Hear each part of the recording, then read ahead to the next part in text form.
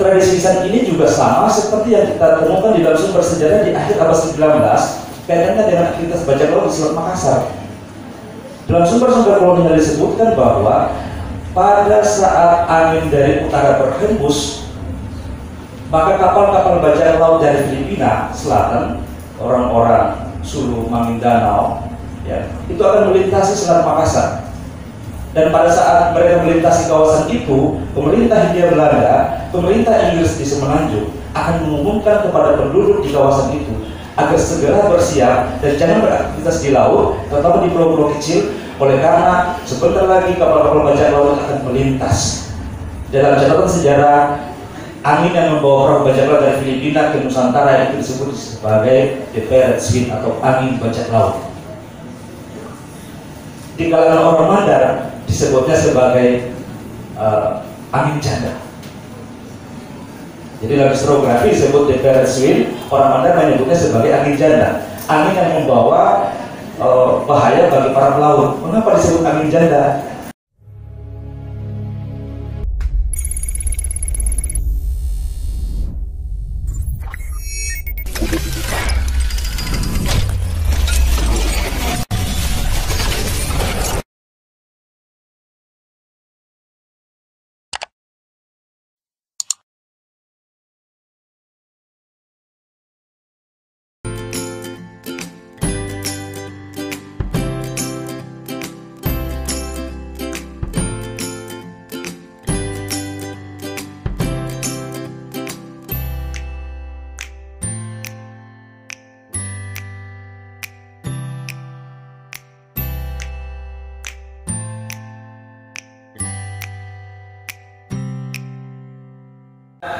Dalam karya-karya yang bisa diakses di Scholar itu ada tulisan yang berjudul ma, uh, uh, Sibali Padri dalam masyarakat Mandar. Dalam hal ini beliau membahas tentang bagaimana hubungan lingkungan dengan manusia. Bagaimana masyarakat pesisir Mandar dalam hal ini uh, bisa menyeimbangkan relasi antara lingkungan dengan manusia. Dalam hal ini eh, ternyata hasilnya adalah ketika ada relasi yang baik antara lingkungan dengan manusia, maka akan berimplikasi terhadap pendapatan para masyarakat pesisir di daerah Mandar.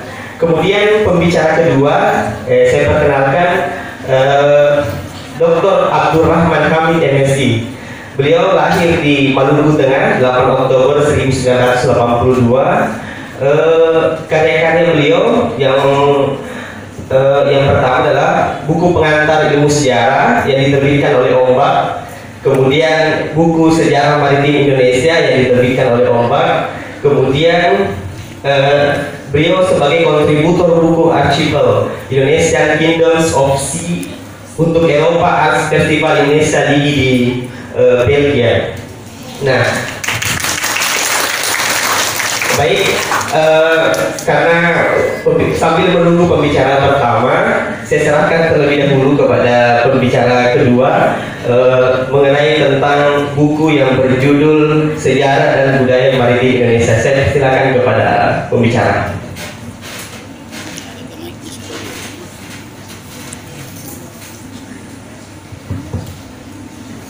uh, terima kasih. Bismillahirrahmanirrahim. Assalamualaikum warahmatullahi wabarakatuh. Selamat pagi dan salam sejahtera untuk kita semua. Alhamdulillah pada kesempatan kali ini kita dipertemukan oleh Allah Subhanahu wa taala untuk mengadakan satu ritual akademik ya, di kampus dalam rangka peluncuran buku sejarah dan budaya maritim Indonesia. Yang pertama yang saya hormati Bapak Dekan yang hal diwakili oleh Wakil Dekan 3 Profesor Jumali Sahabudin ini semua guru saya yang saya hormati Ketua Jurusan Pendidikan Sejarah yang tadi menyampaikan sambutan beliau sedikit lupa saya ingin mengingatkan bahwa saya ini anak PA-nya beliau dulu ya. Yang setiap saat sejak saya jadi mahasiswa di dibimbing ya di ruangannya itu menjadi tempat saya berbagi dan banyak hal yang saya peroleh selama dibimbing oleh beliau. Yang kita hormati bersama dan kita banggakan Direktur Penerbit Kompak Yogyakarta Pak Nursam mungkin belum semua orang kenal ya? Atau sudah kenal ya? Ya. Yang juga saya hormati yang saya banggakan Kepala Balai Pelestarian Nilai Budaya Sulawesi Selatan. Terima kasih banyak Pak atas kehadirannya. Kepala Perpustakaan jurusan Pendidikan Sejarah Dr. Ahmadin. Dulu ketika saya menjadi mahasiswa juga sempat diajar oleh beliau sejarah maritim jadi ini pertanggungjawaban murid kepada gurunya sebetulnya di sini ya. juga yang saya hormati Ketua Program Studi Sejarah Dr. Bahri Nah ini kemarin ketika saya menawarkan ini ada diskusi buku di Majene dia bilang saya ingin lebih dulu daripada di Majene. Alasannya sederhana, Anda alumni pendidikan sejarah UNM dan karya itu harus pertama kali diluncurkan di tempat Anda dilahirkan ketika mengenal sejarah itu. Dan seluruh para kolega dari BPNB ada Dr. Samsul Bahri, Pak Asis, ya, dan mahasiswa dari UNM, dari UIN Alauddin ada? Ya, dari UIN Alauddin. Oh, mohon maaf, ah, kakak saya dari Universitas Hairul Ternate uh, jauh-jauh datang ke sini. Oh, mohon Bapak berdiri biar ketahuan. Ini pembicaraannya juga datang dari jauh-jauh dari Ternate. Ya, terima kasih banyak. Ya. ya. Uh, mahasiswa dari Unhas juga datang? Nggak datang ya? ya. Ada dari Unhas? Belum sempat datang ya. Ya, karena saya wajibkan mahasiswa yang saya ajar itu harus datang.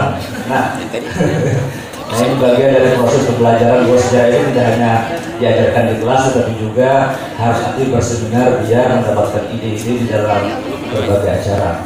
Hadirin uh, yang saya muliakan, izinkan saya untuk sedikit memberikan beberapa hal terkait dengan uh, buku yang diluncurkan pada pagi hari ini.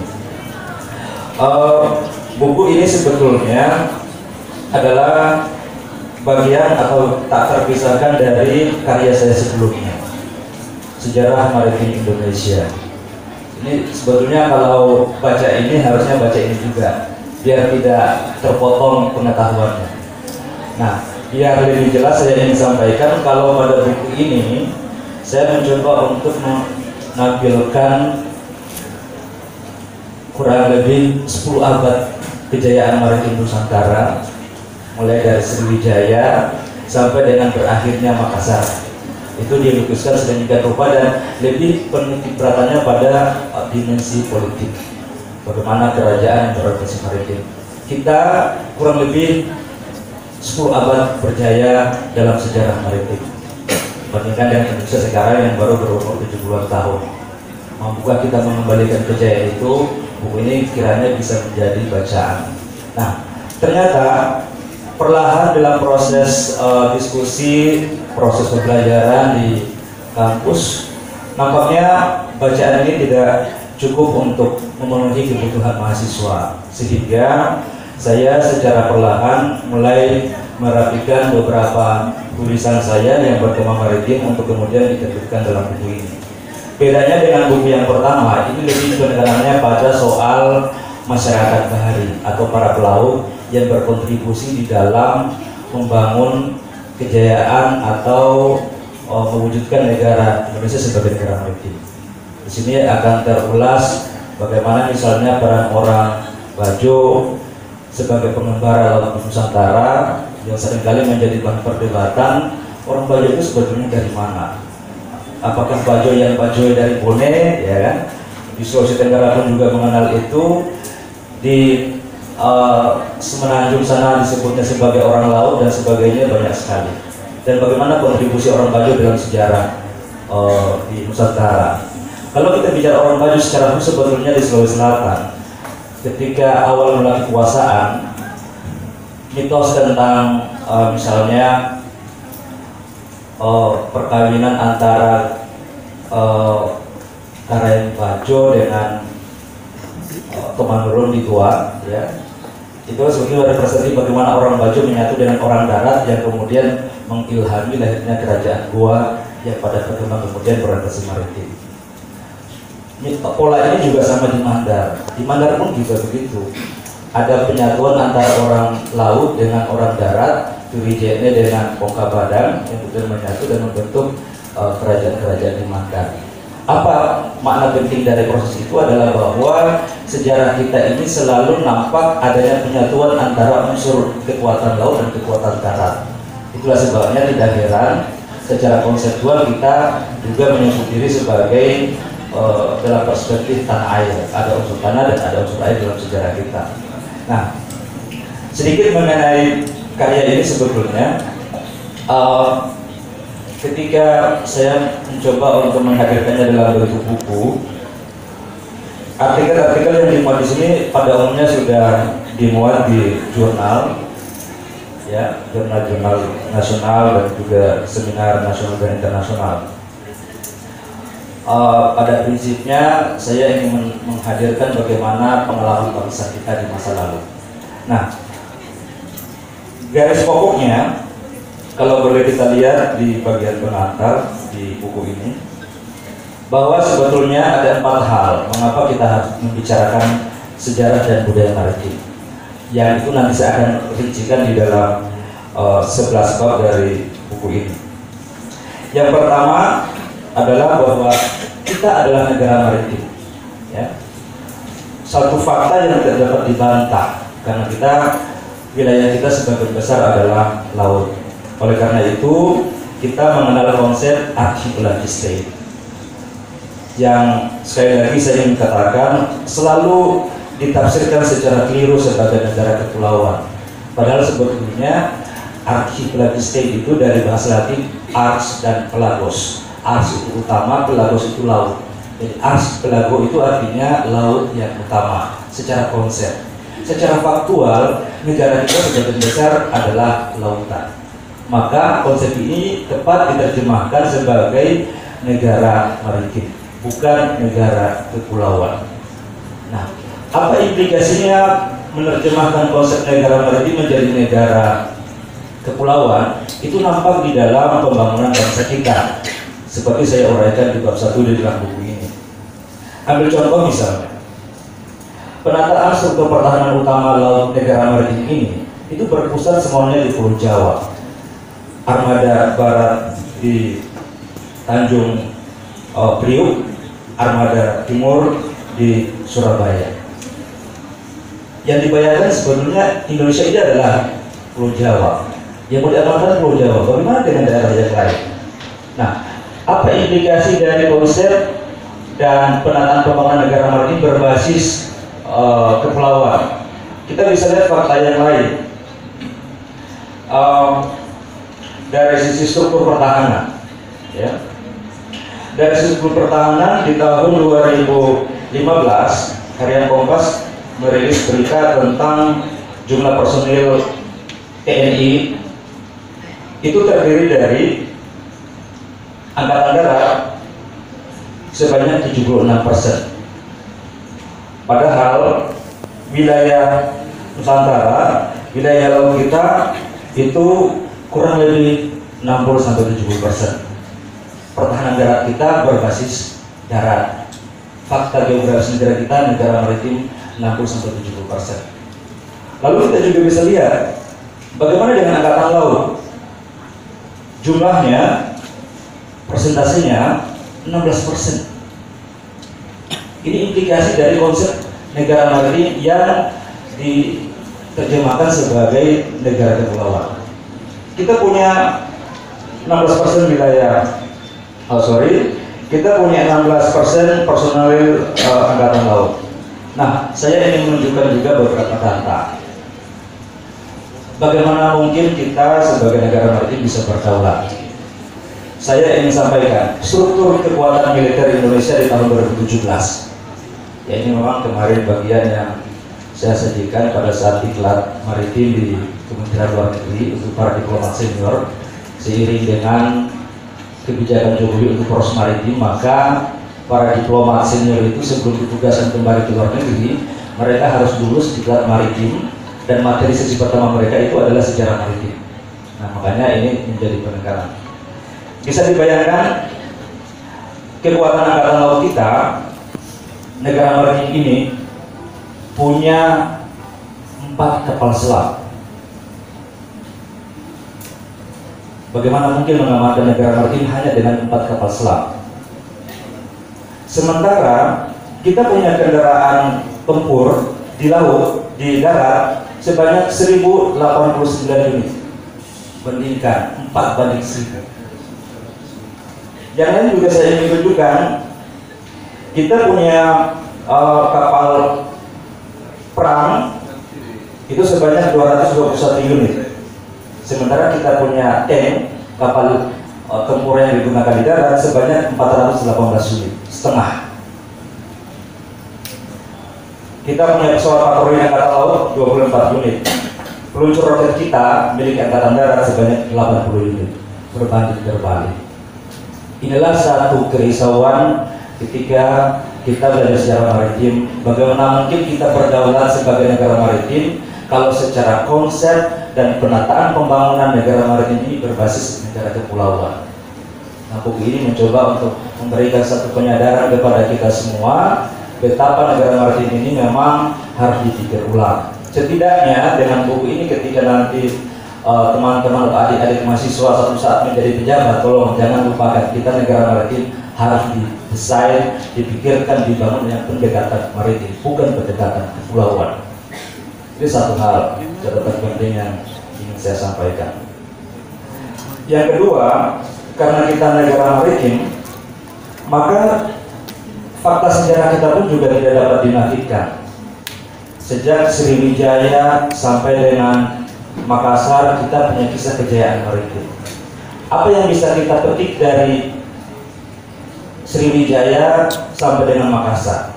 Kekuatan maritim mulai dari Sriwijaya, kemudian Majapahit, kemudian masuk Makassar. Kejayaan itu sangat ditentukan oleh kemampuan dari para penguasa di dalam mengontrol, mengendalikan aktivitas pelayaran dan perdagangan di laut, terutama kawasan-kawasan yang strategis. Penguasaan laut ini menunjukkan jalannya sejarah, jalannya kejayaan dan juga penanda kehancuran. Saya sebut penanda kehancuran oleh karena begini saya ambil contoh yang paling dekat pada kasus Makassar. Jadi nampaknya Belanda itu menyadari betapa laut itu menjadi potensi yang bisa membuat Makassar bisa bangkit. Oleh karena itu, pada saat perang Makassar, di dalam diktum perjanjian bunganya disebutkan bahwa orang Makassar dilarang berlayar. Ini menjadi soal, kenapa orang Makassar harus dilarang berlayar? di zaman Sultan Alauddin ketika Belanda mencoba untuk memaksakan pelayaran itu hanya untuk mereka dengan tegas lalu menolak tidak laut untuk semua bangsa tidak boleh ada dominasi tidak boleh ada pengecualian untuk menggunakan laut jadi seolah-olah Belanda ini ingin mematikan potensi kejayaan maritim Sulawesi Selatan dengan cara itu tetapi yang menarik juga yang lain kendati begitu Belanda sudah menetapkan bahwa orang Makassar tidak boleh berlayar ke mana-mana kecuali kalau mendapat izin dari Belanda dan mengibarkan bendera Belanda dalam pelayaran mereka. Itu ketentuan yang betul Belanda. Namun kebijakan politik ini tidak mematikan aktivitas kemaritiman masyarakat Sulawesi. Apa buktinya? Di tahun 1676 di Makassar lahir namanya hukum pelayaran dan perdagangan Amanagama. Hukum ini lahir setelah perang Makassar setelah perjanjian bunganya dibuat dan ini mengindikasikan bahwa kebijakan politik tidak mampu mematikan kebebasan kultural masyarakat Sulawesi untuk tetap mengembara di laut sebagai pelaut dan pedagang. Dan hukum pelayaran Amanagama itu adalah hukum laut yang kedua dalam sejarah Asia Tenggara setelah Undang-Undang Laut Malaka. Nah, tentu kita patut berbangga bahwa kebijakan maritim oleh pemerintah kolonial itu tidak mematikan budaya bahari bangsa kita terutama di Sulawesi. Nah, hal berikutnya yang juga ingin saya kemukakan pada bagian ini adalah mengenai budaya maritim. Tentu tadi adanya hukum pelayaran perdagangan itu adalah bukti bahwa kita adalah bangsa bahari. Nah, dalam sejarah Sulawesi dalam sejarah bahari Indonesia, kita mengenal ada sejumlah suku bangsa bahari. Ada orang Bajo atau orang laut, ada orang Makassar, ada orang Bugis, ada orang Mandar, ada orang Buton dan ada orang Madura. Dalam kajian kemaritiman, mereka ini disebut sebagai suku bangsa bahari, pewaris tradisi maritim Indonesia. Namun kalau kita ingin mencermati lebih detail lagi, dari enam ini, lima di antaranya itu dari Sulawesi. Hanya Madura yang di luar Sulawesi. Limanya itu dari Sulawesi. Apa maknanya? bahwa membicarakan sejarah dan budaya maritim Indonesia, Sulawesi, suku-suku bangsa Sulawesi sebetulnya punya kontribusi besar di dalam menyumbang kebudayaan maritim. Nah, bicara maritim harusnya Sulawesi menjadi titik sentral pembicaraan kita. Namun, hal ini tidak serta merta langsung menjadi satu gerakan intelektual di kalangan para akademisi kemudian menjadikan Sulawesi sebagai sentra pemikiran kemaritiman. Makanya sebetulnya kalau Jokowi bicara tentang poros maritim harusnya Sulawesi itu menjadi porosnya. Kita yang menjadi tuan rumah kita bicara tentang budaya maritim. Karena bicara maritim Indonesia dalam konteks hubungan suku bangsa yang mengembangkan budaya maritim dalam masyarakat Sulawesi. Tadi saya katakan ada Bugis, ada Makassar, ada Mandar, ada Buton, ada orang Bajo. Nah, buku ini mencoba untuk menghadirkan bagaimana pengalaman oh, bangsa oh, Bahari di kala itu. Nah, ini oh, beberapa hal yang saya pikir menjadi catatan di dalam buku ini. Buku ini ditulis sebanyak 11 uh, bab. Nah, saya ingin sedikit melihat terutama di dalam era revolusi. Hal yang terlewatkan di dalam sejarah oh, nasional kita, bagaimana peran pelaut di dalam era revolusi. Pusat perjuangan revolusi itu ada di Jawa. Namun bagaimana cara para pejuang kita di Pulau Jawa bisa tiba di Sulawesi dan bagaimana kontribusi rakyat Sulawesi terhadap para pejuang di Pulau Jawa. Dan ini bukan perkara mudah untuk dilakukan oleh karena dalam era revolusi pelayaran perdagangan antar wilayah itu dikendalikan oleh oh, negara kolonial. Semua aktivitas pelayaran dikontrol. Maka para pejuang tidak punya pilihan lain untuk menyambung gagasan perjuangan itu dari Jawa ke Sulawesi, dari Sulawesi ke Jawa, kalau tidak menggunakan armada perahu-perahu tradisional dari masyarakat kita. Nah, ekspedisi maritim yang dilakukan oleh di Sulawesi dari Surabaya terutama karena situ menjadi basisnya. Di sana pada saat itu dibawa Komando Kahim Muzakar sebelumnya itu Rokat ya. Di bawah Kahim Muzakar. Bagaimana dia mengendalikan, mengatur siasat para pejuang dari Jawa, dari Sulawesi di Jawa ini kembali ke Sulawesi. Ini butuh butuh satu keterampilan. Dan di sinilah peran penting para pelaut di dalam membawa para pejuang untuk bisa tiba di Sulawesi.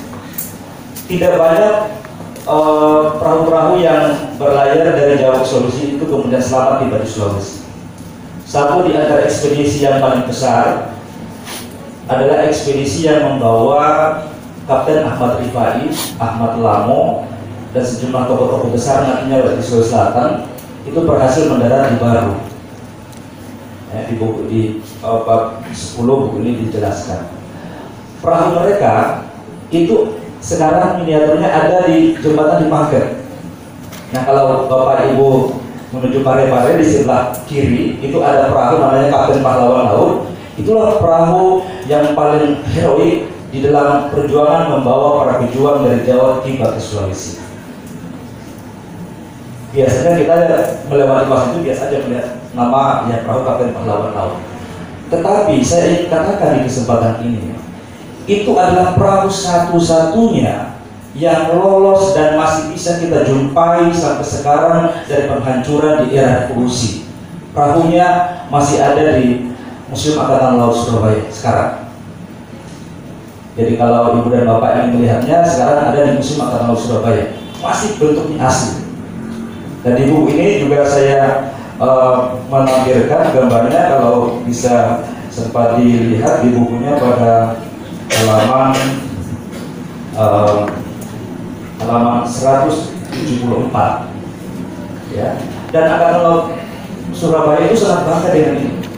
Malah sering kali untuk melihat perahu itu sedikit dirahasiakan saya pertama kali datang ke sana tahun lalu ingin mengecek dia bilang oh maaf pak nggak ada perahu-perahu di sini saya bilang pak saya ini meneliti tentang pelayaran bagaimana peran para pelaut di dalam era revolusi. Saya tahu di sini ada perahu namanya Kapten Pahlawan Laut. Perahu itu dari masa lima pangkat. Perahu itu perahunya orang Mandar jenis lete ukurannya sekian konasinya sekian. Sesudah itu dia mulai termenung-menung. Ya pak kalau begitu kami antar perahunya ada di sana pak. Akhirnya tidak mau disampaikan. Saya tanya, Bapak kenapa? Seolah-olah dirahasiakan?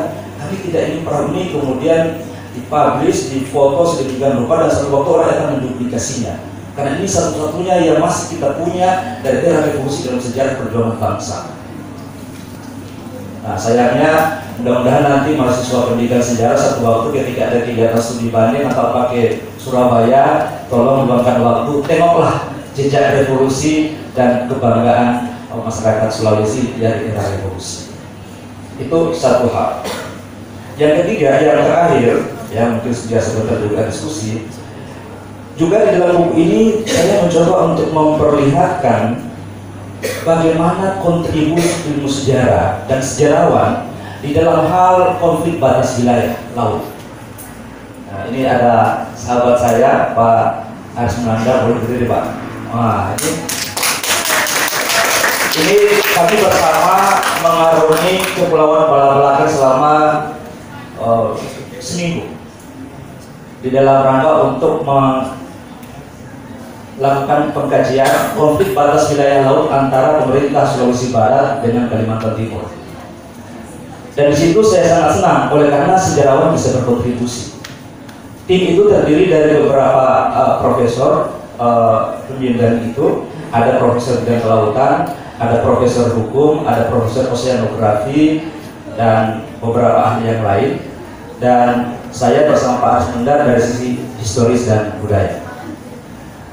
Pulau ini diperebutkan. Ya. Bagaimana sejarawan berkontribusi? Ya.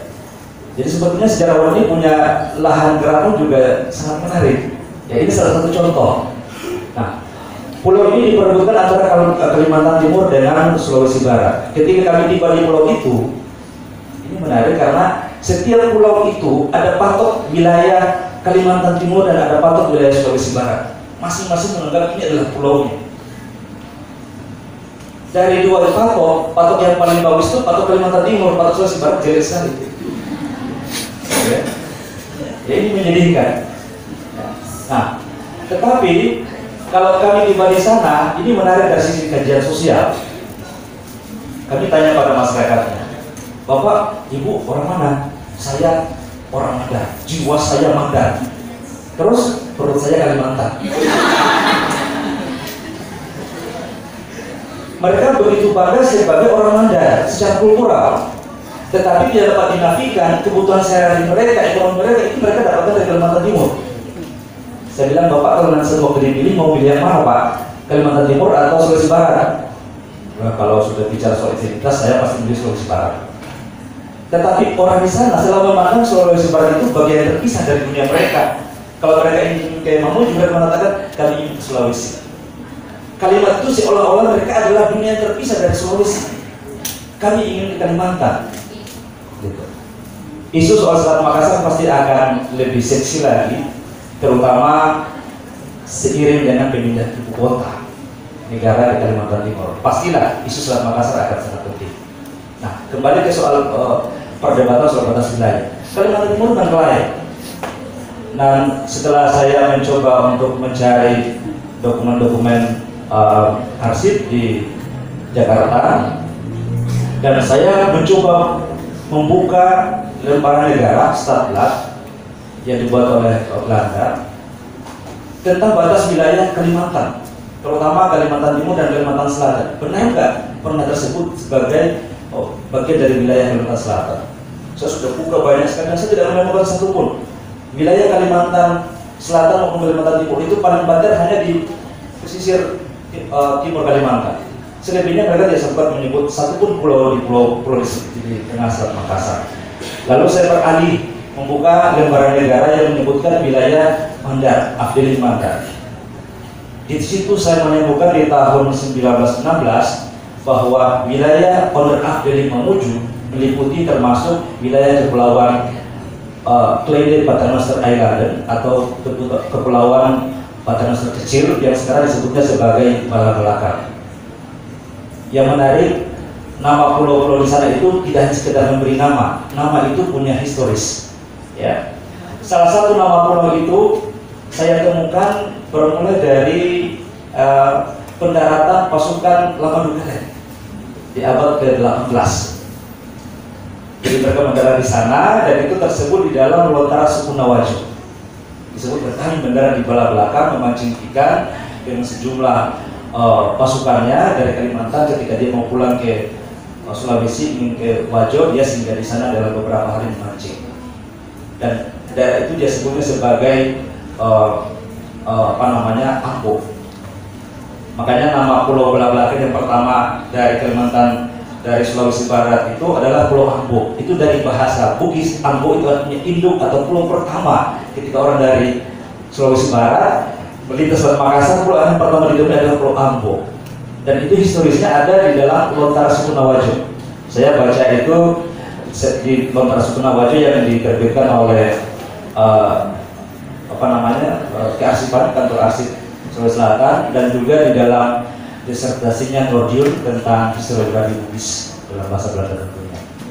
Nah itu, nah itu pulau pertama dengan menggunakan bahasa Bugis. Pulau berikutnya ada namanya Pulau Samataha dan Pulau Saboya. Pulau ini tidak berasal dari bahasa Mandar, meskipun pulau itu dihuni oleh orang Mandar. Setelah saya cerita tahu, ternyata pulau itu berasal dari bahasa Bajo.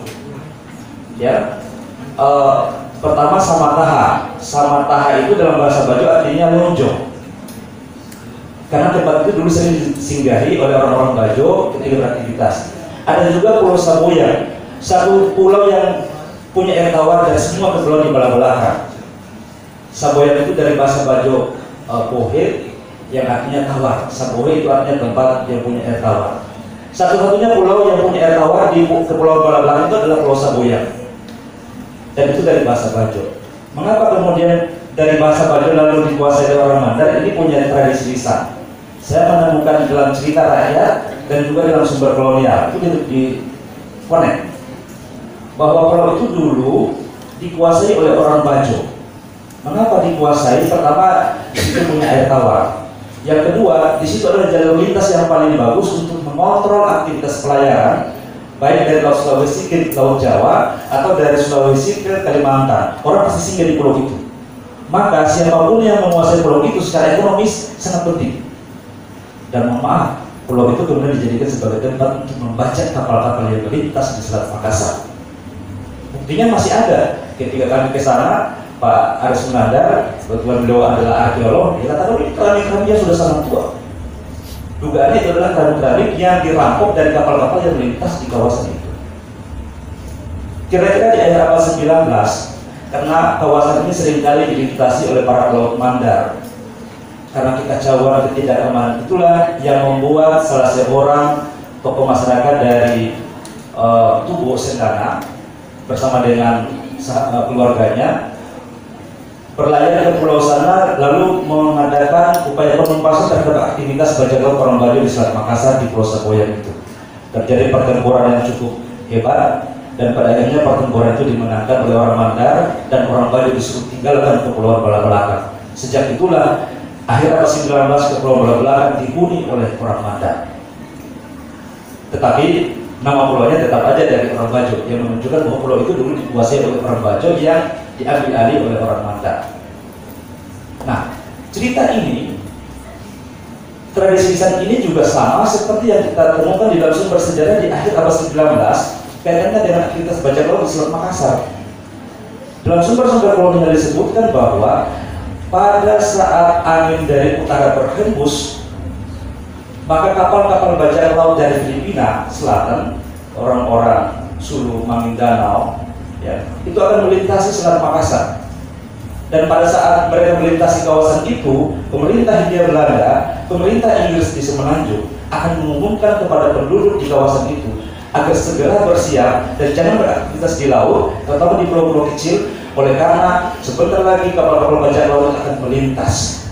Dalam catatan sejarah, angin yang membawa perahu bajak laut dari Filipina ke Nusantara itu disebut sebagai the Pirate Wind atau angin bajak laut. Di kalangan orang Mandar disebutnya sebagai uh, angin janda. Jadi dalam historiografi disebut DPR Swin, orang Mandar menyebutnya sebagai angin janda. Angin yang membawa e, bahaya bagi para pelaut. Mengapa disebut angin janda?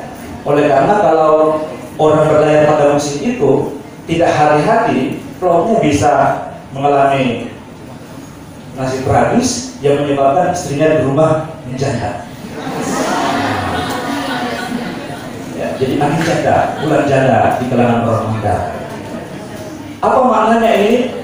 Bapak dan Ibu sekalian, membicarakan dunia kemaritiman itu bukan milik lelaki saja, tapi perempuan pun juga punya kontribusi, baik mendapatkan sumber kehidupan atau merasakan efek dari aktivitas kemaritiman itu. Di mana memang kita mengenal istilah si Bali Pari, saling penjang antara lelaki dan perempuan satu konsep. Nah, ini eh, hal-hal uh, Nah, dan pada akhirnya alhamdulillah setelah riset kami selesai dilakukan dengan Pak uh, Pak Nanda Kalimantan Timur sudah tidak lagi banyak ngomel soal wilayah pulau. Saya bilang silakan tunjukkan dokumennya mana kalau itu milik Kalimantan Timur. Kami bisa bukakan lembaran negara tentang wilayah itu. Pak Nanda di mana? Ya Pak Nanda di Nanda, di Nanda ya. Nah, Ibu dan Bapak sekalian, betapa pentingnya sejarah di dalam kerangka penataan wilayah tidak hanya di darat tetapi juga di laut. Dan ini juga memberi peluang bagi profesi atau keahlian pasca kita sarjana bahwa kita tidak hanya sekedar mengajar, tetapi juga dalam persoalan-persoalan penetapan batas wilayah, konflik batas wilayah, alumni sejarah bisa berkontribusi. Kalau ingin melihatnya lebih jauh, Pak, terakhir dari buku ini bisa memberikan contoh bagaimana ilmu sejarah dan sejarawan berkontribusi di dalam penanganan masalah konflik batas wilayah laut dari sebuah negara maritim. Ironis memang negara maritim, kajian-kajian maritim masih sangat terbatas. Saya kira itu sebagai pengantar pada kesempatan kali ini. Uh, silakan nanti dilanjutkan. Oh ya, mohon maaf. Uh, buku ini selain juga membicarakan tentang orang Bajo, orang Mandar, juga membicarakan tentang orang Buton. Ya, jadi seolah-olah ini tidak buku sampai di situ. Saya tidak sempat membicarakan Bugis dan Makassar karena narasi Bugis dan Makassar itu sudah sangat banyak. Saya mencoba menghadirkan narasi kelompok suku Bahari yang selama ini tidak banyak terekspos di dalam uh, sejarah maritim Indonesia. Dan khusus tentang Mandar, nah ini mumpun ada kesempatan uh, saya juga ingin memperkenalkan ini kerja uh, jadi dilakukan oleh tim kreatif ombak ya bersama Pak Musa. Uh, ini disertasi saya yang menunjukkan bahwa saya konsen pada kajian tentang Mandar uh, masih kami masih percetak. Kata Pak mas, bolehlah diperkenalkan. Saya minta izin dulu, boleh saya perkenalkan? Nah, itu kan. Karena beliau yang akan meluncurkan yang akan menerbitkan. Saya ini hanya menulis saja, gitu. Nah, uh, Judulnya Jaringan Maritim Mandar. Studi tentang pelabuhan kembar, Pambawang dan Majene. Saya menemukan konsep pelabuhan kembar. Ya. Kembar dalam artian saling menutupi, saling mengisi pelabuhan yang pada suatu masa mereka saling melengkapi komplementer. ada satu masa pelabuhan saling bersaing dan ada satu masa ketika satu di antara pelabuhan ini harus hancur akibat persaingan yang tidak seimbang lagi. Nah, itu menjadi salah satu uh, argumentasi dari karya ini. Dan alhamdulillah uh, ini mudah-mudahan tidak lama lagi bisa uh, terbit uh, dan bisa menjumpai Bapak dan Ibu sekalian. Saya kira itu sebagai pengantar kali ini. Terima kasih. Assalamualaikum warahmatullahi wabarakatuh. Terima kasih kita